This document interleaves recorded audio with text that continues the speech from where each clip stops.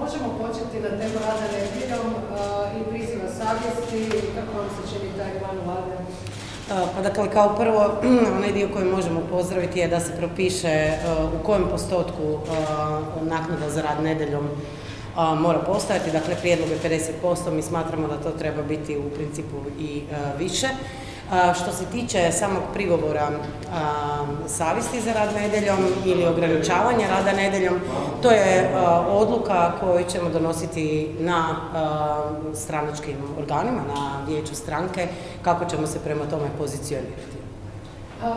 Neki pozdravljaju da bi moglo dovesti do problema ako se većina radnika pozove na savjesti da bi moglo doći i do ugroze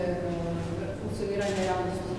pa gledajte, ja ću vam sad svoj osobni stav. I mislim da to nije dobro vezivati uz pitanje prigovora savjesti ili ne prigovora savjesti, nego da je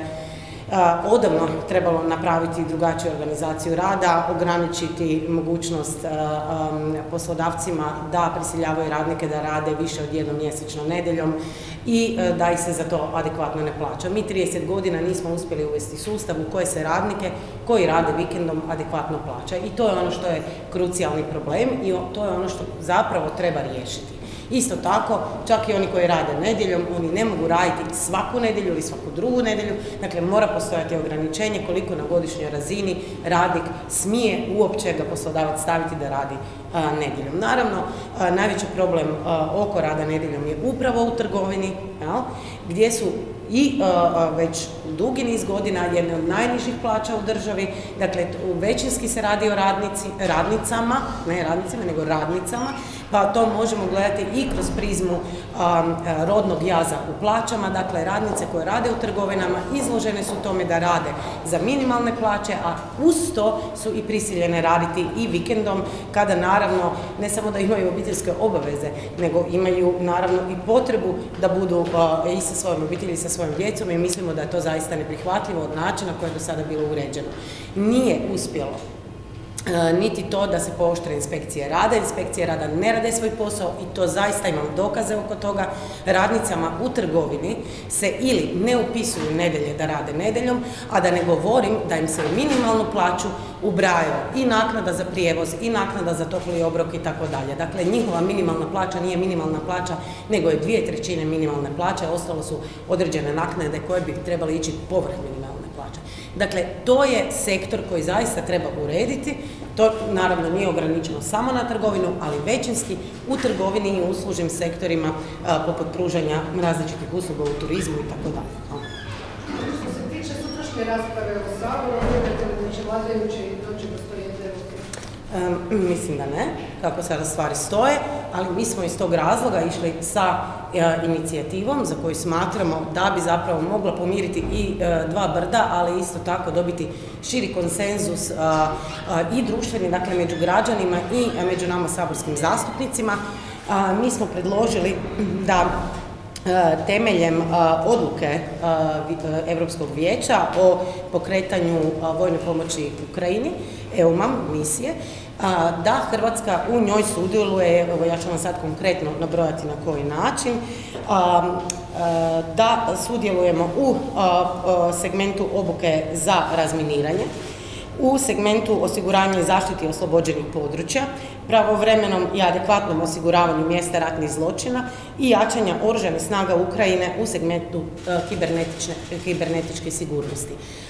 Kada bismo se fokusirali na ta polja, ono što bismo izbjegli jest da imamo direktnu vojnu obuku u smislu borbenih djelovanja, a opet bi s druge strane iskoristili one kapacitete koje Republika Hrvatska ima specifične u odnosu na druge zemlje Europske unije, upravo zbog našeg i ratnog iskustva i poratnog iskustva i mogli bi zapravo naše najbolje ljude koji su stekli i tekako iskustvo staviti zapravo u tu funkciju Također mi tražimo da se također na temelju odluke Europske unije uključe ne samo vojno, nego i civilno e, osoblje u takvu vrstu osposobljavanja. Dakle, ono što također tražimo, što se same zakonodavne i ustavne procedure tiče, smatramo da bi vlada trebala donijeti dvije odluke, jel? Jedna odluka se tiče, dakle, prihvata vojnog osoblja iz Ukrajine, u Hrvatsku, na teritoriju Republike Hrvatske, dakle to je jedna zasebna situacija koja po nama dakle treba ići preko odluke vlade i predsjednika Republike, a sasvim druga je odluka o slanju naših vojnika dakle na teritorij drugih država gdje će obučavati također ukrajinsku vojsku. Dakle, to su dvije različite po kategoriji zapravo članka 7, to su dvije različite vrste aktivnosti i mislimo da u tom smislu treba donijeti i dvije različite odluke. Također smatramo, i to smo već rekli, da ova odluka o dolasku ukrajinskih vojnika na područje Republike Hrvatske treba se donijeti temeljem odluke vlade uz supotpis, odnosno suglasnost predsjednika Republike. Na čemu temeljite optimizam da bi se u ovom slučaju koji predlažete dogovorili predsjednika? Pa gledajte, mi nudimo nešto što bi riješilo one dubioze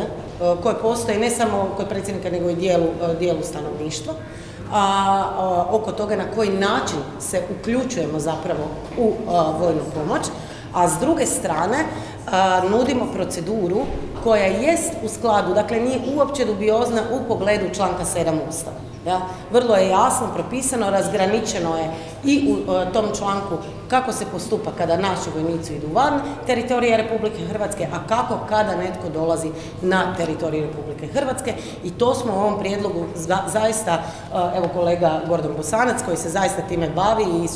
konzultirao se sa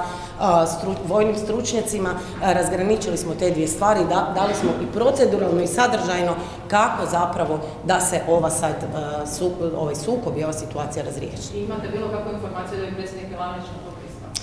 Nismo direktno ga kontaktirali oko toga, smatramo da ne treba, ovo je naša inicijativa kao kluba zastupnika u Hrvatskom saboru, no vjerujemo da će oko toga, da postoji dobra volja da se ova situacija razriješi. Ako postoji dobra volja da se razriješi, ona će se razriješiti. Postoji ustavno-pravni i zakonski put kako, postoji i sadržajni način kako da pomirimo zapravo određene rizike koje i naši građani percipiraju u vezi ovakvih aktivnosti i smatramo da je taj prijedlog nešto što bi trebalo biti većini prihvatljivo. Hoćete li sudjelovati u raspravi Sudjelovat ćemo u raspravi o našem prijedlogu zaključka, dakle njega ćemo predstaviti, na njemu ćemo inzistirati i pokušati uvjeriti i e, zastupnike pozicije, dakle ovi iz većine, da je zapravo to najbolje rješenje za izlazak iz ove situacije, neće na kraju krajeva će nam odluka pasti. U trenutku eventualno ne uspije pomiriti predsjednika i premijera i onda premijer bude tražio dvije trećine u Sabora, a li eventualno pa ne, mi smo rekli da smatramo da je to odluka koju ne donosi Sabor, nego da je, kao prvo da se radi o dvije odluke i da se ova odluka o obuci ukrajinskih vojnika na teritoriju Republike Hrvatske treba donijeti kao odluka vlade uz potpis predsjednika. Dakle, smatramo da to nije procedura, razumijete? Tako da ne možemo sudjelovati u proceduri za koju smatramo da nije u skladu sa Ustavom.